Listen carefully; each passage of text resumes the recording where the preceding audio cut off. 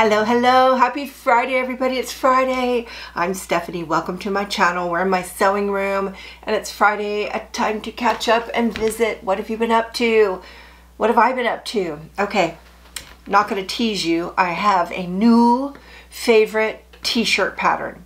Totally. I'm wearing it. It's the Butterick 6848.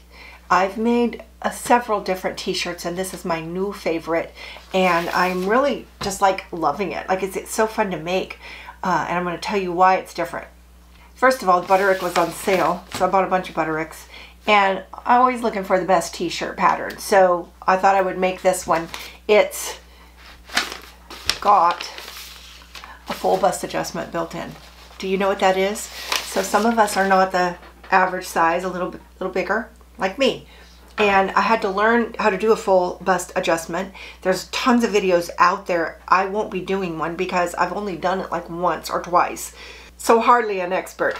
But I will put up um, one for you to go look at. I'm trying to think which one I would show you, but I'll look and see the one I did. And um, it really wasn't hard. It was just changing the pattern. Sometimes these hacks on patterns are just like magic. And the full bust adjustment is like magic. So let's find the front. First try, front. So this pattern piece you're not going to be able to see at all. But basically, this is the front. So it looks like this.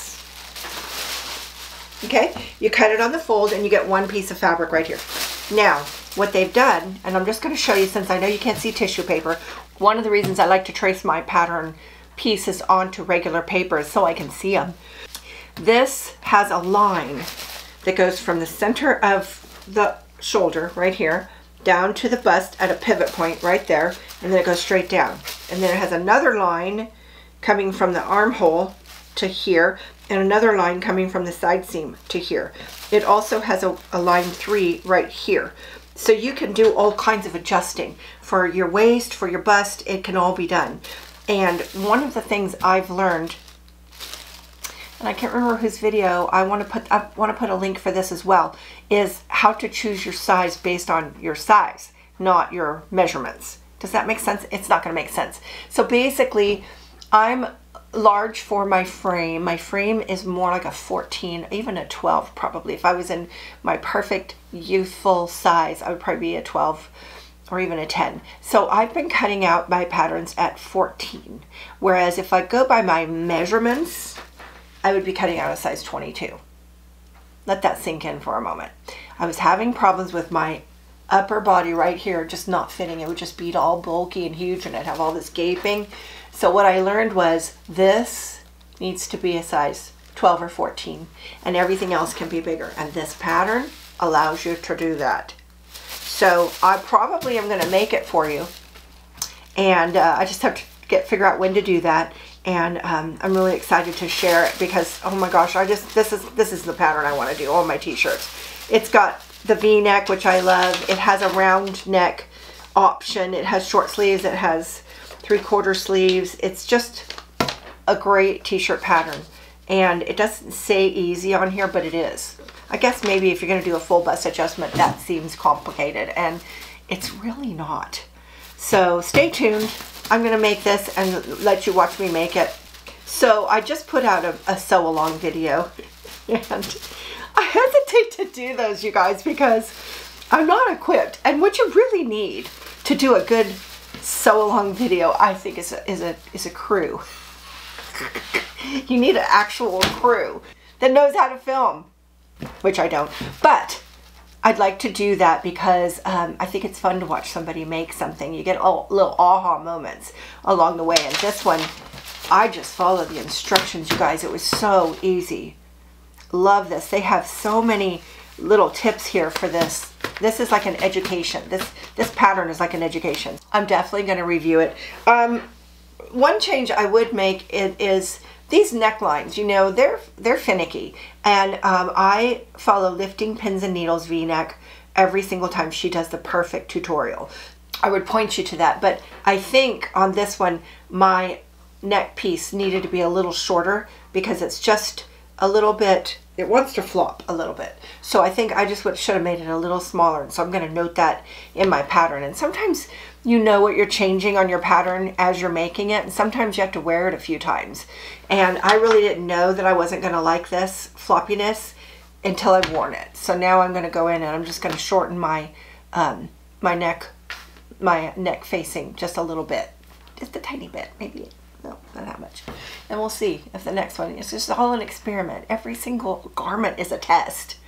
Um, this is a double brush poly and I'm not sure where I got this.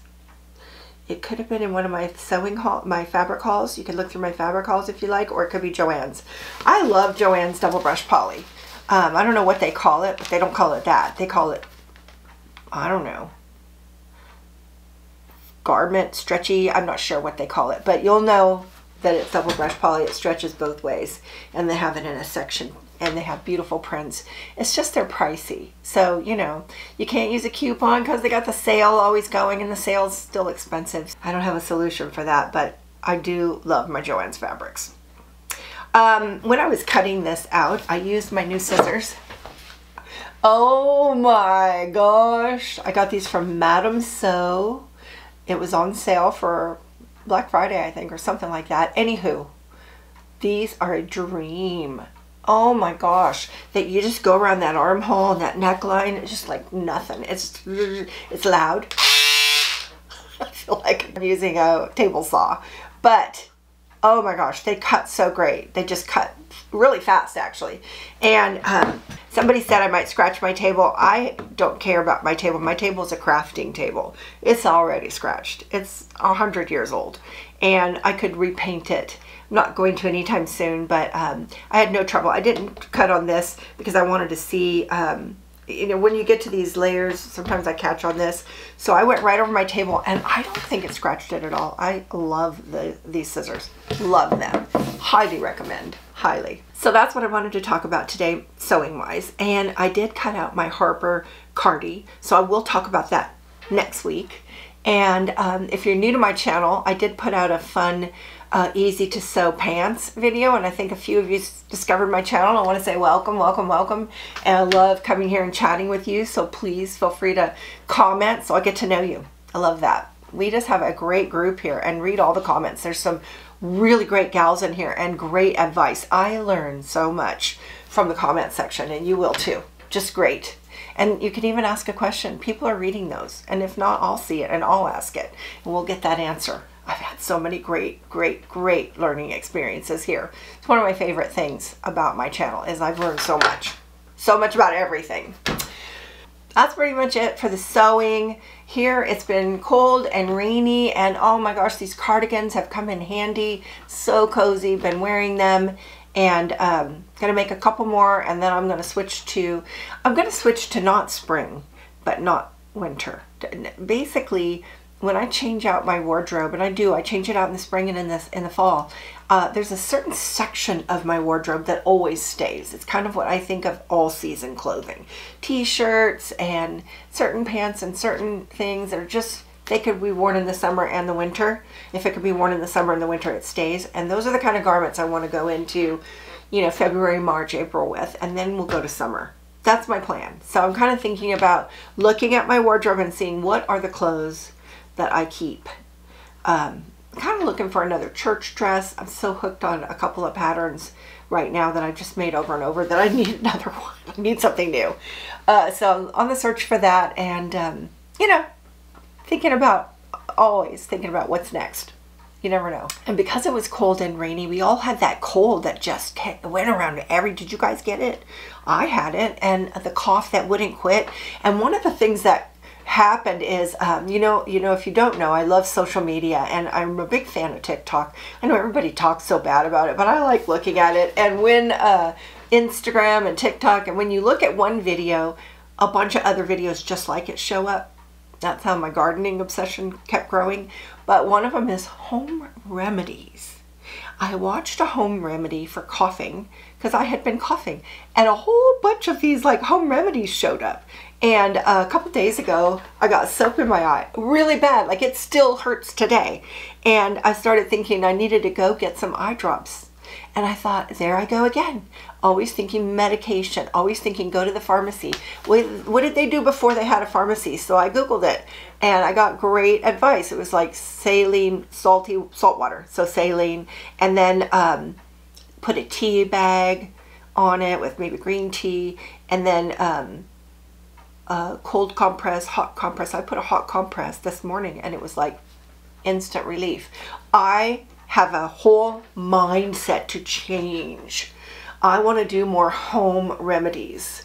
Oh my gosh. I'm, I maybe need to do a video on home remedies just to get you guys to share your best ones so that they'll be in the right place. This might not be a place people would look for them. Should we do that? Do you guys have a bunch? Tell me if we should do that video.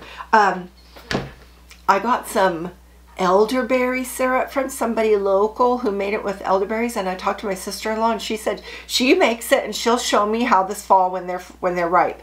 So I'm a yes on that. And um, you know just a whole bunch of cool ideas for immunity and there's it's like mother nature. So now I'm rethinking my garden plans to include some of these plants. Like what do people do for a headache?